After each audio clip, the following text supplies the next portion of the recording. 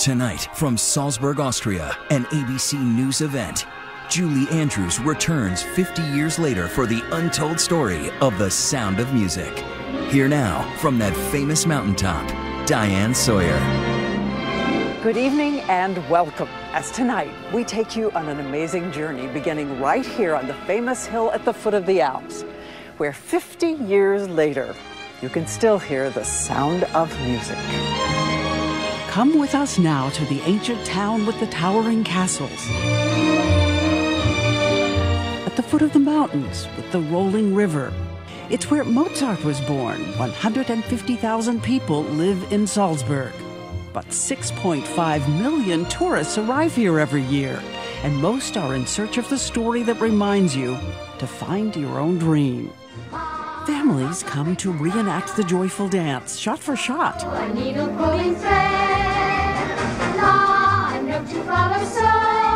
We see fans imagining themselves inside their favorite scenes. You know, the ones that lift the heart. On the Sound of Music tour buses, young and old dress as their favorite characters, singing along. From all over the planet to that little gazebo where Liesl and Rolf were 16 going on 17.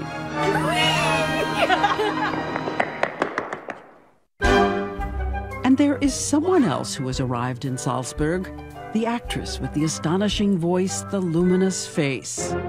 50 years later, Julie Andrews, 79.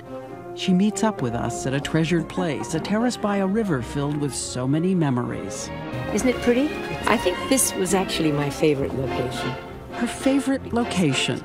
In the movie, this house was used as the set for the backyard of the Von Trapp home. It's the place where a high spirited nun frees seven children from stultifying rules. Dressed in play clothes, out of curtains, they go canoeing, excited when their father comes home. At least that's what I remember after falling in love with the movie long ago. But Julie Andrews remembers something else what was really happening outside the frame. Watch these rarely seen home movies shot by the parents of the children. Just as we were about to shoot, the second AD came up to me and said, Can I just tell you something? The little one doesn't swim. I said, uh, So could you fall forward from the boat and get her as quickly as possible? I said, Well, yes.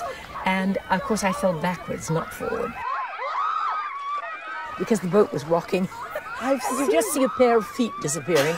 I saw I, some tape of her coming up going, yeah, well, yes, and people were diving in to get her. She was very brave. You did four takes. Four times they have to fall in the water, dry off, fall again. Behind the scenes, we see Julie Andrews huddled in towels, a bucket used to get her wet for retakes. Did you get dried well, off? No, I, I know up here they kept wetting us down to match. And somehow all this work and craft began to shape a message about courage, choosing hope even when your life gets hard. A message that would arc across every generation. 50 years 50 later. 50 years. It's unbelievable, Diane. I do not know where the last 20 years went. I could believe 30, but not 50, surely. It's a joke. The sound of music isn't just about being joyful, it's about achieving joy. It's about finding joy, yeah.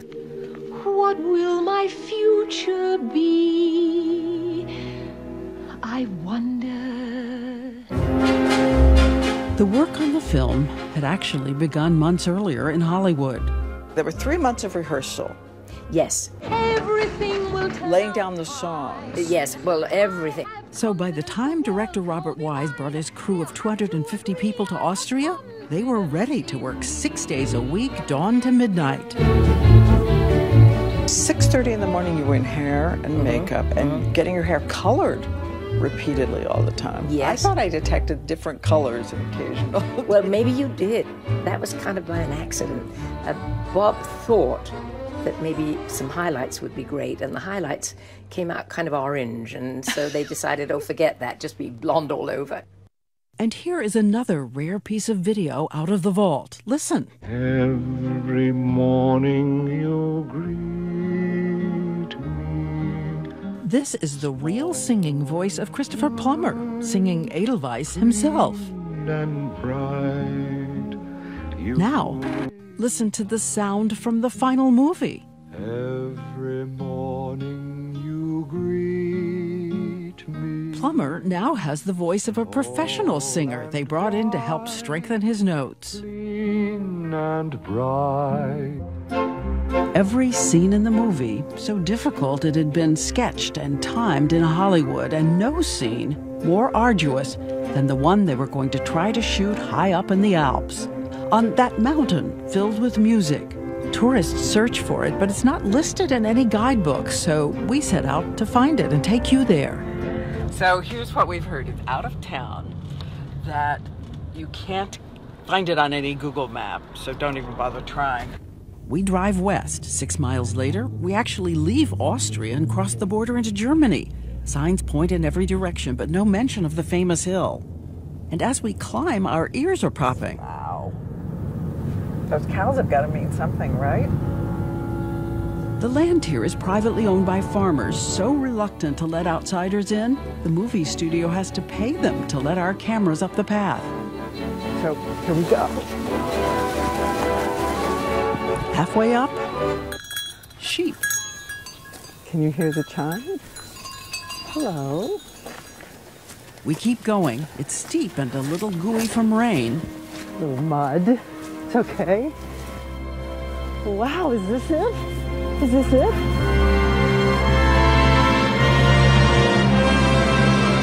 Here we are, the view exactly as it was a half a century ago. Though one thing is very different for us on the day we arrive. Even though it is a beautiful day today, it was not 50 years ago. In fact, it was rain, it was wind, the temperature's in the 50s. Everyone was freezing, and they only had the sun come out for about 20 minutes to get that shot. Turns out beautiful Austria is the 11th rainiest country on earth. So I went to your mountain. I want to know how you did that. How I got up there? Oh, well, my- it rained a lot. The tarp over your head, freezing cold, waiting for the clouds to part. I know. We actually went up the mountain in big open carts pulled by oxen. I would sit on top of all the camera equipment, and then they'd hoist me up, and up we'd go. Spoiler alert skip this part if you only want the movie magic in your head. But if you look closely here, for a moment the sky is clear blue for a wide shot. Then, in the shot in the meadow, you can see clouds closing in. At times, the grass is yellow, but in the DVDs, they electronically paint it green. And those birch trees? If you're looking for those birch trees, you're not going to find them. They were brought in for the scene, then taken right back out. Something else you won't find here that brook with the water that trips and falls over stones on its way. That was brought in by the movie studio, too. Plastic filled with water and vanished. And do you remember the scene where she's running back to the Abbey, leans down, picks up her clothes, and goes in this direction? I'm telling you, it is steep. This is not easy. But on that day we were shooting on the mountain, we're lucky. We have small, silent drones getting the shot. Back in 1965, Julie Andrews was doing battle with a helicopter that kept blowing up a tornado of wind. This giant helicopter came at me sideways with a very brave cameraman hanging out the side, where the door would be normally. And the helicopter would shoot me, and I'd come from one end of the field, and he'd come from the other, and I'd make that big turn. And then he'd go around me to go back and start again, and I'd run to the other end. But every time he went around me, the downdraft from the jets would fling me down into the grass. I heard that occasionally you curse like a sailor. I do. No, I do, and I did. Quiet, please. But somehow, out of that duel with the helicopter, the nine takes, the long hours, and the cold, in 20 minutes of sunshine, the giant speakers up in the trees began playing that music. One was suddenly released, maybe, from, from waiting and waiting. I don't know. But these huge, big speakers in the trees were blasting this beautiful music. And for all of us, an indelible moment, celebrating the simple joy of being young and alive.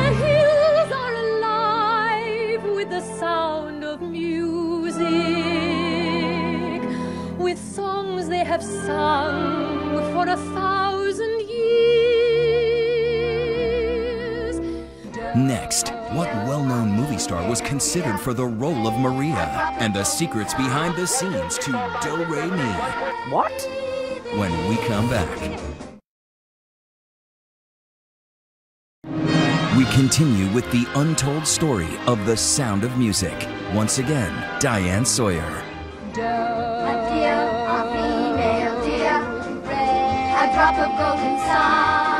Here it is, one of the songs children can sing pretty much everywhere around this planet.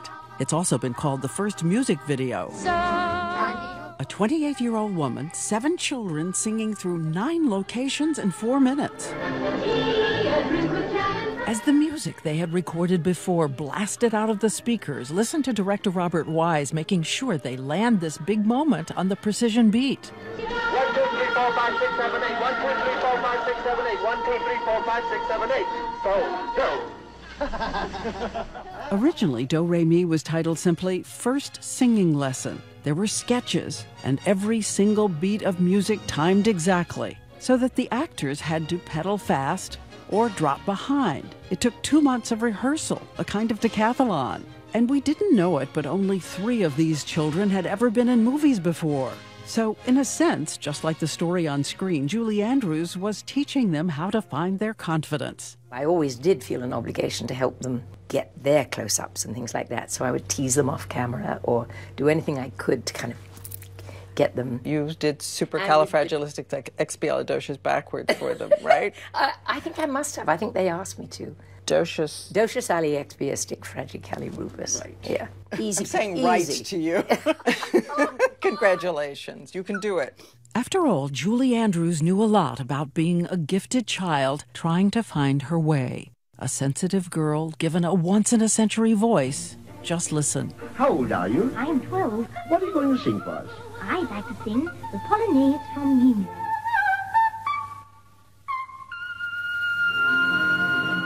That note, a phenomenon, an impossibly clear high F.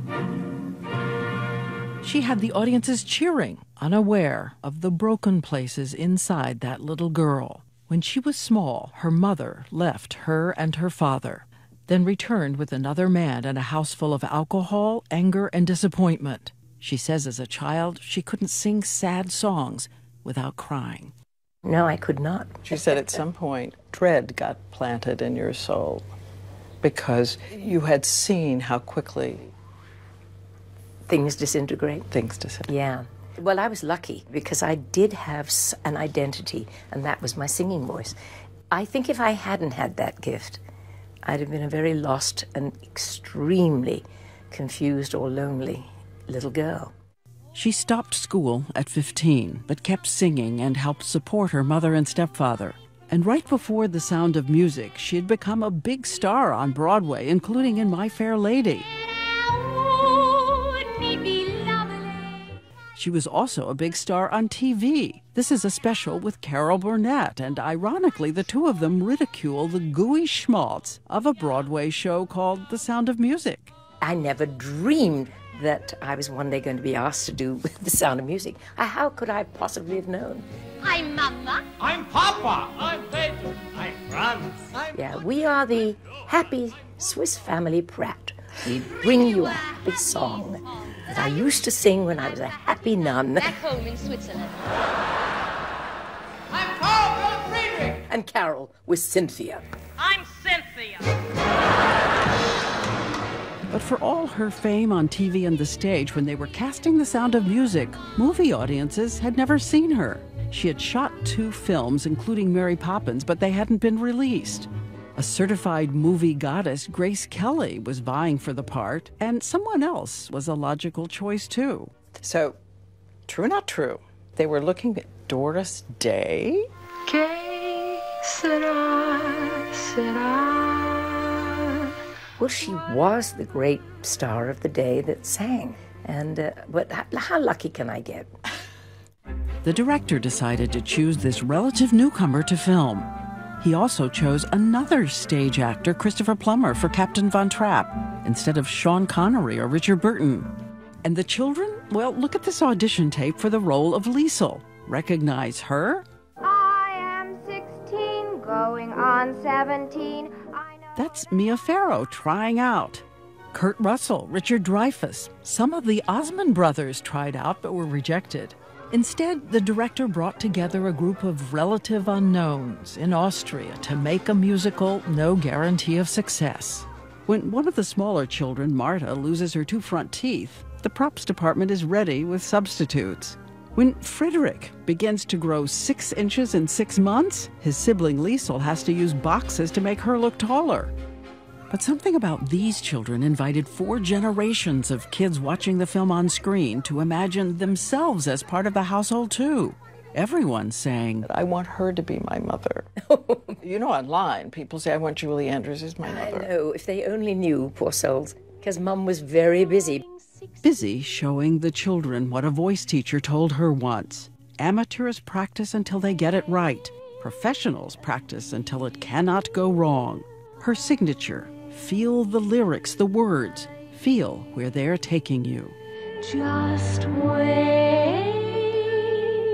At the end of a song, follow it, follow it, follow it, follow it, all the way down the road. And then stop. The kids said the most amazing thing. They said that they never saw you make a mistake. What? Yeah. Just playing the guitar alone, I would curse under my breath. And the 50th anniversary DVD has more photos from behind the scenes. Oh, oh, don't! Photos that show the work that eventually produced the clockwork perfection of songs like Do Re Mi. A name I call myself. Toward the end, they enter the gardens of Mirabell Palace near Salzburg, so we decided to go there too. Some Sound of Music pilgrims are arriving. So, are you American? Canadian. Canadian. What song is sung here? Do Re Mi. What song is sung at the gazebo? 16, 16 going on 17. So we asked these fans if they'd like to make their video doing the fountain dance. So come on, we're gonna try it. We're gonna see if we can get it in tribute. So as best I remember it, here we go. We're gonna go left foot first. Yeah. Do, a deer, a female deer, Ray, a drop of golden sun. Me, a name I call myself. This is very high pressure choreography. Do, a deer, female. Don't make us go so fast. Finally, we're off. Do, a female deer. Ray, a drop of golden sun.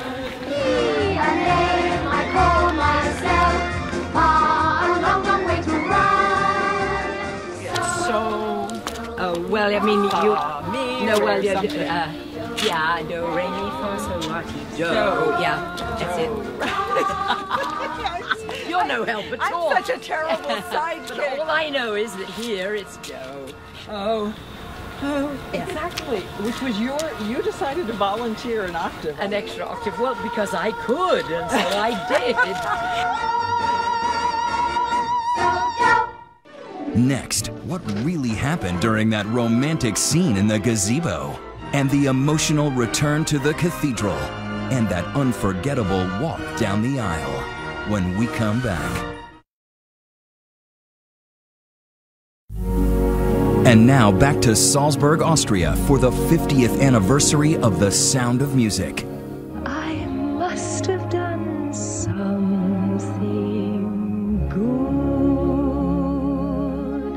50 years ago, two actors in a gazebo gave the world one of the most romantic scenes on film. The creators were originally going to call this story Love Song. And in that same gazebo, another kind of love at 16. I am 16, going on 17. I know that I'm naive. So we went to find the gazebo, which turns out to be very small. One, two, three, four arm spans. So, how did they do this?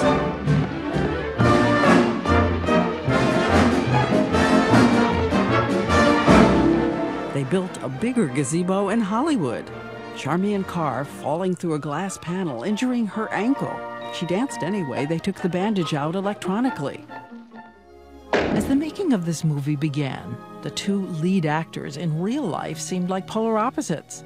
The gracious 28 year old Julie Andrews and the 34 year old Christopher Plummer, known as a serious Shakespearean actor who was worldly and wary of doing a movie he thought was way too saccharine. In fact, the rumor is he was drinking a little during Edelweiss. Chris Plummer has said that he was lit. Could have fooled me. I didn't know. All those nuns kind of drove me to drink, you know. Christopher Plummer, now 85, still irreverent as he looks back at that moment long ago. I remember having to wait for hours before we're shooting that bloody song. And we were out in the cold. It was quite cold, actually. And uh, I think, you know, while waiting. And another spoiler alert about the reality inside that favorite romantic scene. Plummer says when he and Julie Andrews arrived for their gazebo moment, they were so tired, so weary, and had to stand so close and sing. You're that close on the screen. I said, come on, it's not possible. So we both started giggling. The giggling, can you almost see it here?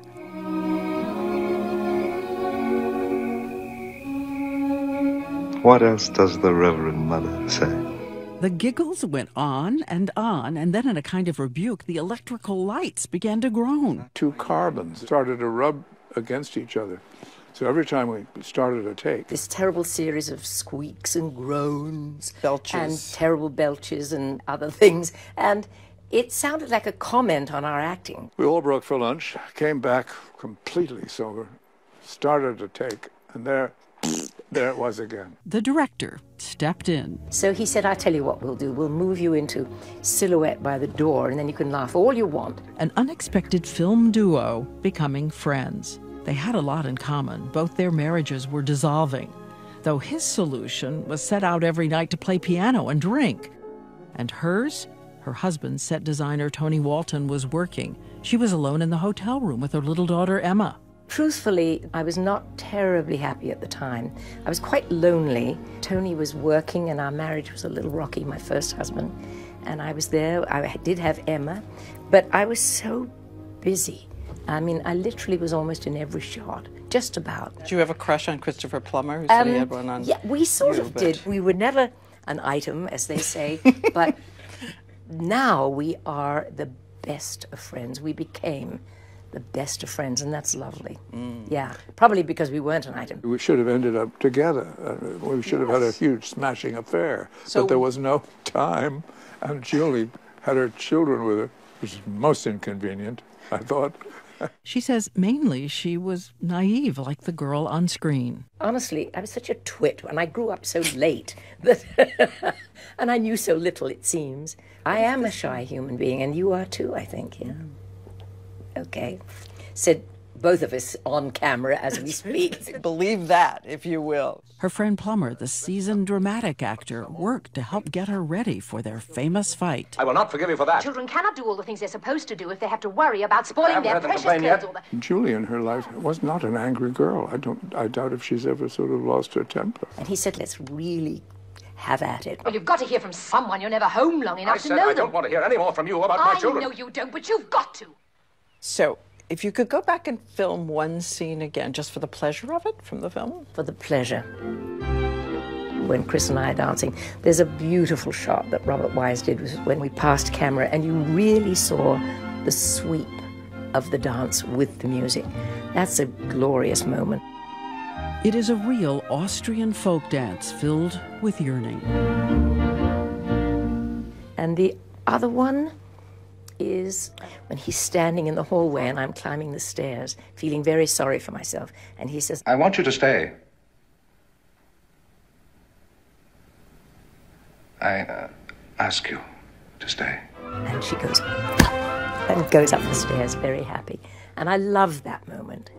Last week, when we went to see Plummer, who is a classical pianist, he told us he had seen the movie again not long ago and then drifted into a song we recognized.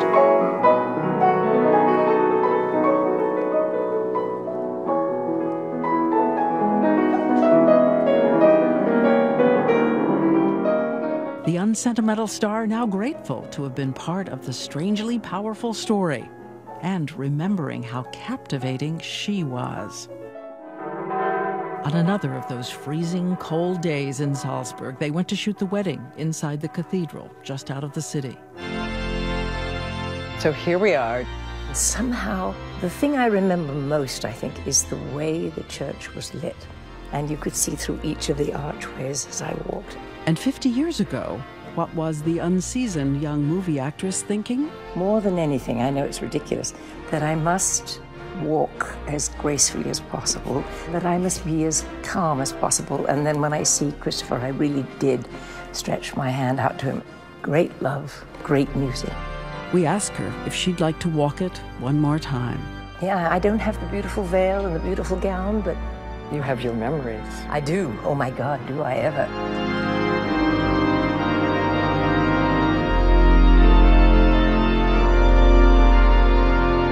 It's a long walk.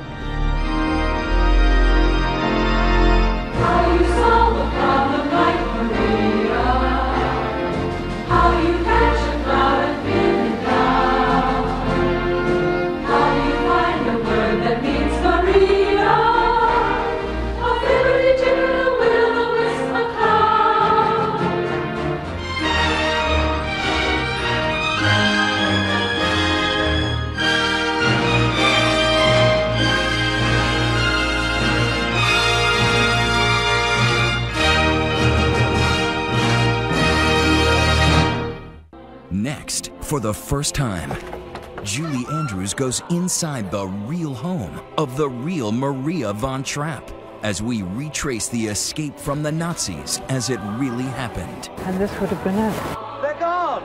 So different from the movie when we come back. And now back to Salzburg, Austria for the 50th anniversary of The Sound of Music. Julie Andrews and I are in a car traveling to see something she has never seen before. Hard to believe, but 50 years ago, the movie shoots were on sets and locations, and she didn't have time to drive outside Salzburg and see the real house where the real Maria arrived. You have never been to this house. No, I've never seen them. We are looking for clues about the real girl who left the Abbey. She had been an orphan since she was nine years old, then a foster child, and then, of course, went to the Abbey and arrived at the villa in 1926. We know how she looked the day she arrived. One of the children sketched her. The dress the real Maria von Trapp was wearing that day. And this is the dress from the movie. And the dialogue actually says, uh, "Where did you get it from?" I said, "Well, I agree that we we keep clothes for the poor, but all of them were gone." What about this one? Well, the poor didn't want this one. Hmm. Finally, we pull up to the gate. Here it is. Well, it is big. It is. This is the real Villa von Trapp. It had 29 rooms when the young Maria walked up to the door. Hello. Hello. It's now a small hotel. The proprietors let us in. This is the original staircase. Are you ready? You remember in the movie? The staircase is sweeping in three dimensions.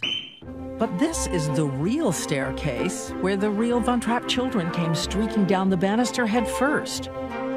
And no wonder their father used a whistle. Uh, we have a similar whistle here. The children could go out and play on 8.6 acres, the biggest privately owned park in Salzburg. They didn't have any mobile phones. No, at no, that oh. I guess they didn't. Enter the strange, boisterous nanny who said she was a kind of tomboy. No one had ever taught her manners. But she did love singing. This is the dining room where the Von Trapp family would gather together. Close your eyes for a minute and listen to their real ethereal sound. It's a song about their homeland, Austria. It was just over a year after her arrival when Maria married the Baron. He was 24 years her senior, a naval captain. Her real wedding dress? Inspiring the one in the film. And in real life, the Baron was kind and gentle and loved his country more than his life. Put his giant fortune into an Austrian bank to try to stabilize it before the war.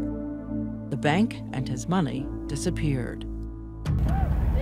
Then in 1938, the Anschluss, Nazi troops, and just as we saw in the film, when the Nazis asked the Baron to command a submarine for them, he refused. Contents of telegrams in Austria are private. They wanted to put up a flag on the house.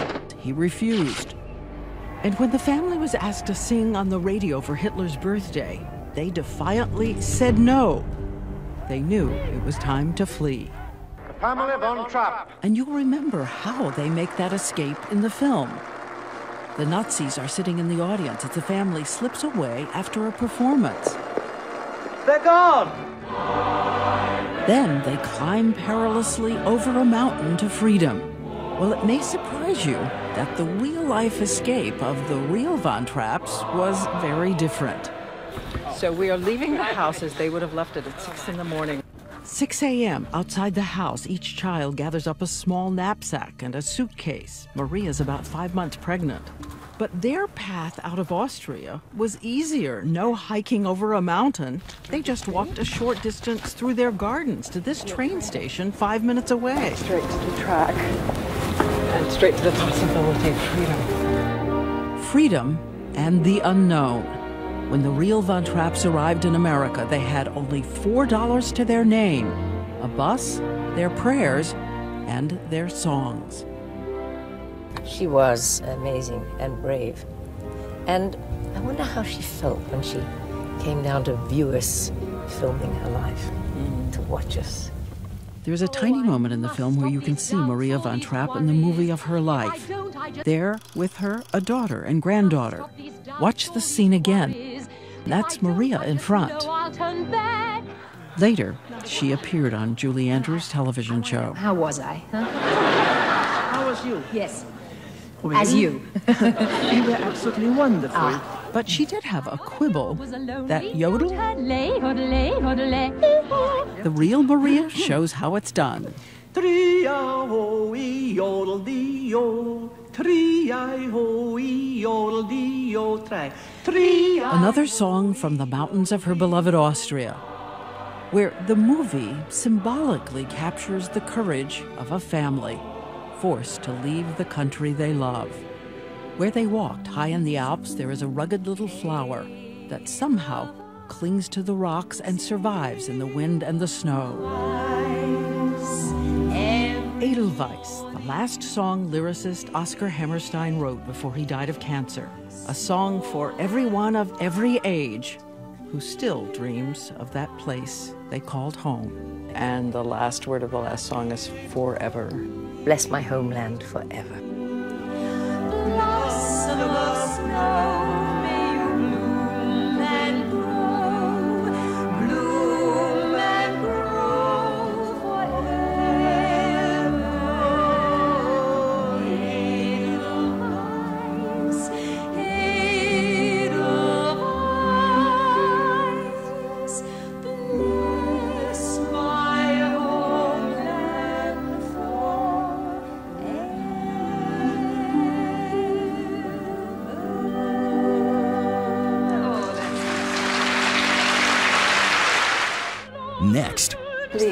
Please enter. the startling thing the real Mother Abbess said about the movie. when we come back, we continue with the untold story of the sound of music. Once again, Diane Sawyer. March 1965, The Sound of Music premieres in New York City. At the time, America is a nation grappling with Vietnam and the bloodshed in Selma.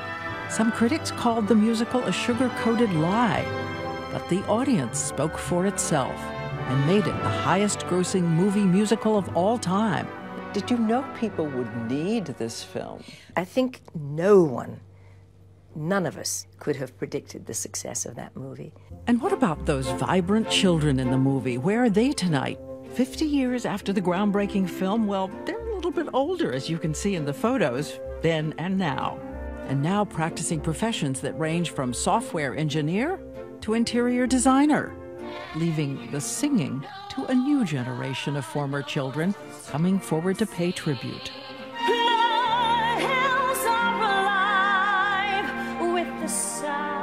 Carrie Underwood famously singing it live on TV in a lower key.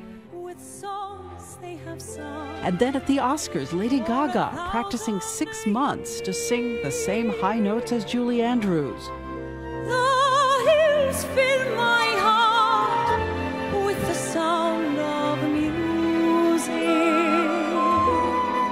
When Andrews walked out, the surprised audience gave her a standing ovation. Gaga shaking so hard you can see Julie asking, Are you okay?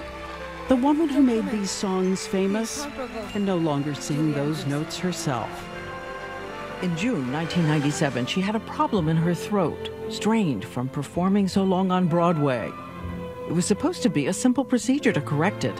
When it was over, her singing voice was gone. You sang in a movie. You sang in The Princess Diaries. Very, very lightly and very briefly. Dear little girl, you are terribly blessed, but it's your heart of gold I love the best. I didn't have a voice really at that point, but uh, it was nice just for a second. I've got some bass notes still because I had that miserable um, operation, which I really can't talk about. It's part of a legal settlement years ago. I still do have about five bass notes, so I could do a good blues o- song or a version of Old Man River if you really wanted it. You had to wrestle with depression. I did. She had four additional surgeries, but her voice never returned. She began to write children's books with her daughter Emma, now all grown up, but she was struggling. I was carrying on and, and wallowing in, in, in my misery one day, and we had begun writing our stories together, Emma and I. And she said, Mom, you've just found a different way of using your voice. And it was as if a great weight dropped from my shoulders. So it's not bittersweet, to, and you say, "Oh, I want to hit that note again." Well, yes, that I do. Notes, yes. Uh, high notes, yes.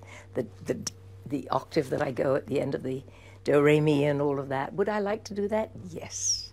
I probably wouldn't be singing these days anyway, because I'm very old and voices get a little tired. But I'd like to be able to have a go at it. I really would.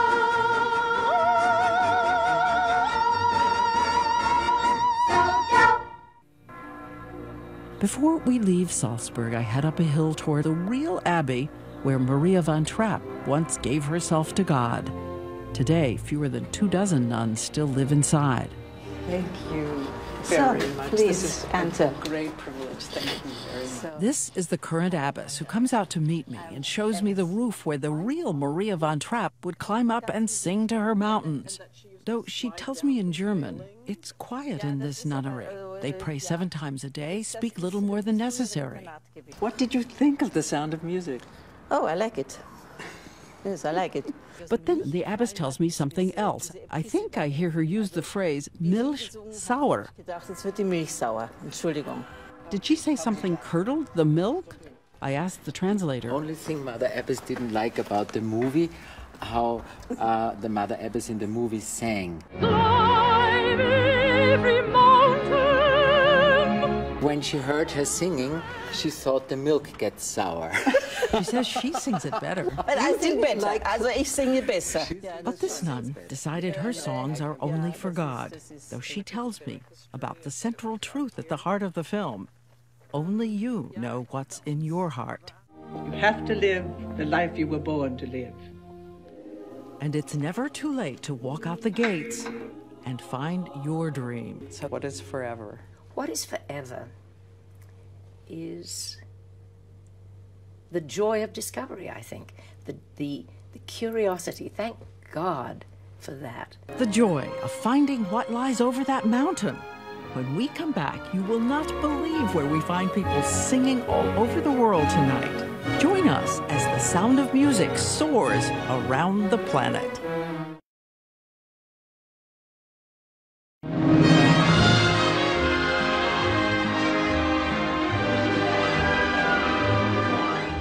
So long, farewell, I'll be to saying adieu. Adieu, adieu. Tonight, all over the globe, people are singing the sound of music.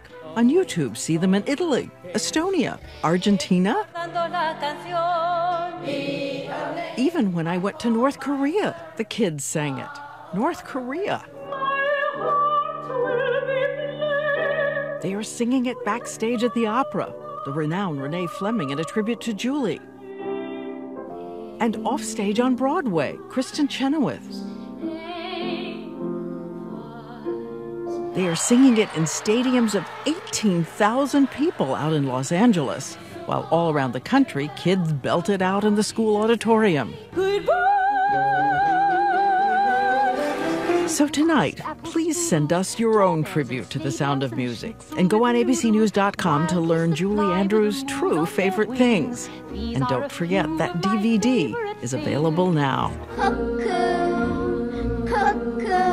And you can be assured 50 years later, as the clock clangs down and the bird goes cuckoo, all of us here are singing right along with you. Goodbye. I'm Diane Sawyer. Good night.